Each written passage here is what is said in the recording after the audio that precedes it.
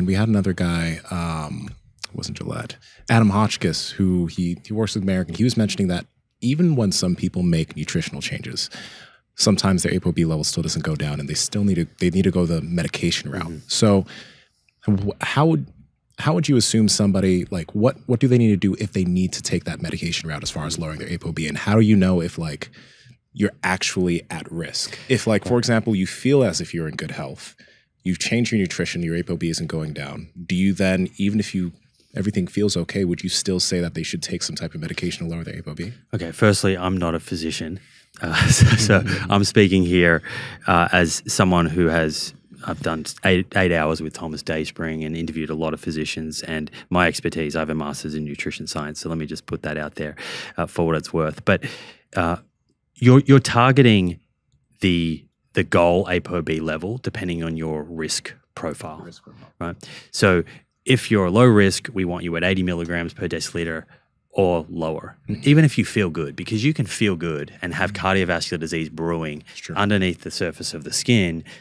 And, and decades down the track, have a cardiovascular event that you could have otherwise avoided. I saw that firsthand. My dad had a heart attack at 41 and and I was with him. I was the only person with him. I, I saw that in person. And my dad is a professor of physiology, researching cardiovascular disease risk factors. So um, ironic, he didn't die. So it, it ended well. Was he uh, unhealthy before that, or just? Uh, No, he was he was representative of a, a young sort of Australian father, um, eating the typical Australian diet. He was moderately active, pretty pretty stressed, I guess, with with work. He did have high blood pressure and high cholesterol, so he had a, a few risk factors in place. Um, but to your back to your point, we have to think about this as it's it's not either or. Combination between your nutrition and pharmacology is really important. What we're trying to get you to is to goal. So, how a- an interesting thing to think about here is how how much can dietary changes actually lower your cholesterol by for the average person, and it, it depends on the extent of the changes that you make. If you if you look at uh, someone like Dr. David Jenkins in Canada, he's known for the dietary portfolio. I did a whole episode with him on this, and this this was uh, a diet that has gone through quite rigorous randomized controlled trials, uh, but it's very significant changes to the diet.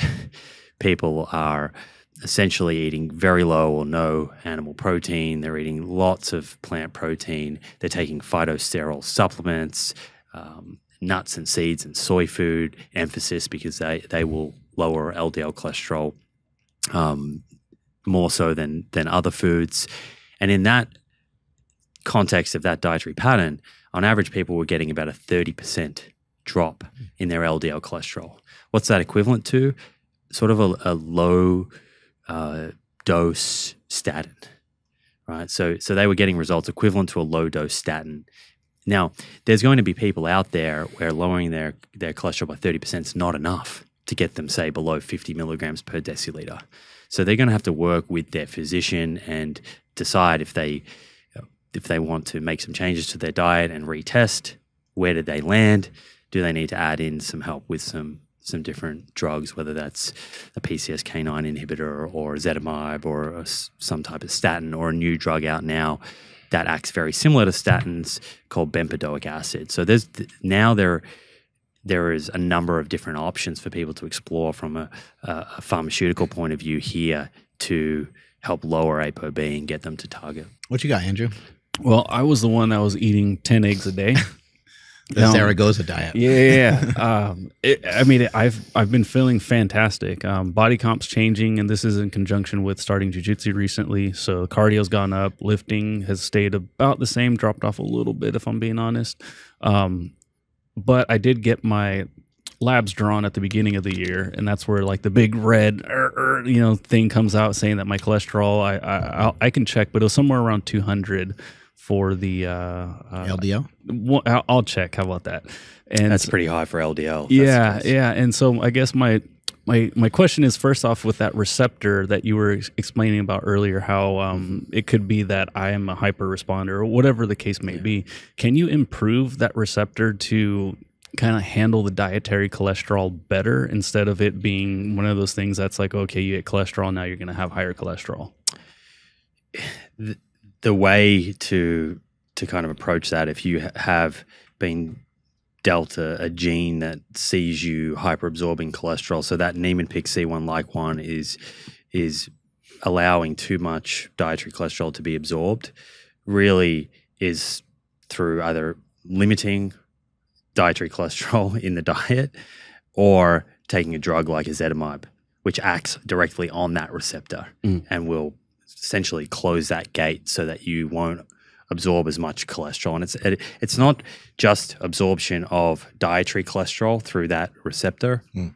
We have cholesterol in our small intestine that our liver has produced and pumped into the small intestine as bile. It's it's a key component of bile to help us absorb our fats. And so if you're a hyperabsorber, you're absorbing a lot of the cholesterol in the food that you're eating, but you're also reabsorbing a lot of the cholesterol in the small intestine that the liver had pumped out. And so, what's the, the reason why, how this all connects back to elevated ApoB is if you're pulling in all of this cholesterol into circulation, now the liver can sense that and it doesn't need to produce as much cholesterol. To produce cholesterol, the liver sends a signal out to increase the LDL receptors to draw more back in from circulation. So the the the kind of pathway by which this works on is if you're a hyperabsorber, what it does is it ends up downregulating the LDL receptor, and again we get that backlog of those those ships in circulation.